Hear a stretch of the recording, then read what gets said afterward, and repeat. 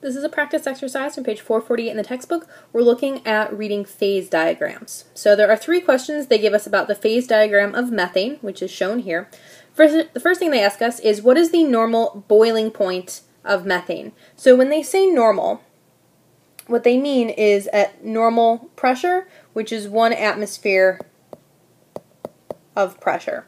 So when we look at this, we want to try to figure out the boiling point at one atmosphere of pressure. Now, boiling point is the conversion between a liquid and a gas. So we just look at this phase diagram, we find one atmosphere of pressure, and we can see here on the red line when it goes between a liquid and a gas, and then we just read down to figure out what temperature we're looking at.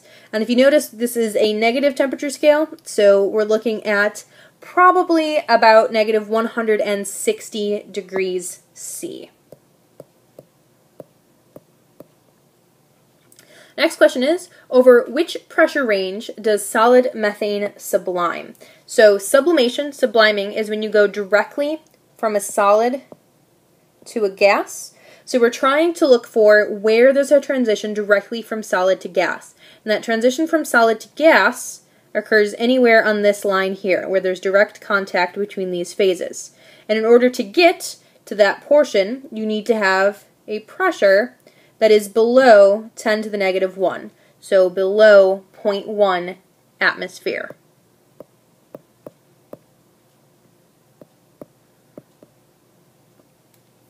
The last question says liquid methane does not exist above which temperature?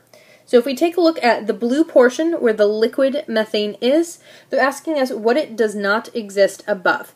So that brings us to this point here, point 3, which is called the critical point. And you can see past this critical point, all we have is what's called a supercritical fluid.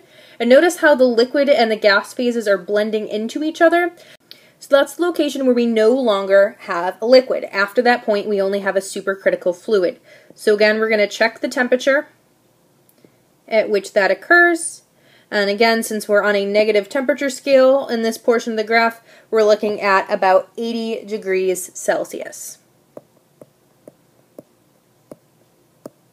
So what that tells us is that above negative 80 degrees Celsius, which is pretty cold, there is no liquid methane. But we want to be a little bit careful with that because in order to be in that supercritical fluid region, we also have to have a pressure that's between 10 and 100 atmospheres. At normal pressure, we would just get a normal solid, liquid, and gas. But you can see that we've got a very small region at normal pressure where we would have that liquid methane. But as the temperature increases and pressure increases, we get into the supercritical region, and as long as the pressure is high enough, above negative 80 degrees Celsius, we will only have a supercritical fluid. So you're just going to want to make sure you understand how to read these phase diagrams. Realize that they're going to look very similar for different substances. You're going to have the solid, liquid, and gas in roughly the same location, but the scales of temperature and pressure can change, and then the slopes of these lines will change slightly depending on if you're dealing with water or carbon dioxide or something like this.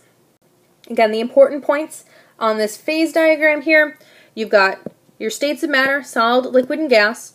All of the curves here represent phase changes because we're crossing over either from solid to liquid, which would be melting, backwards from liquid to solid, which would be freezing, from solid to gas, which is sublimation, or backwards from gas to solid, which is deposition, from liquid to gas, which is boiling, or from gas to liquid, which is condensation. So make sure you understand what these regions represent, what the different lines represent. You're familiar with the idea of a critical point, above which you only have a supercritical fluid.